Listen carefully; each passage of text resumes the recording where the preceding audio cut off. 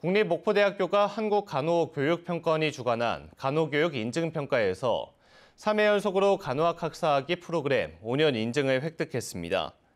모든 간호교육기관이 5년 주기로 받게 되는 평가인 간호교육 인증평가는 인증 불가 판정을 받을 경우 신입생 모집이 정지되며 2회 미인증 시 학과가 폐지됩니다.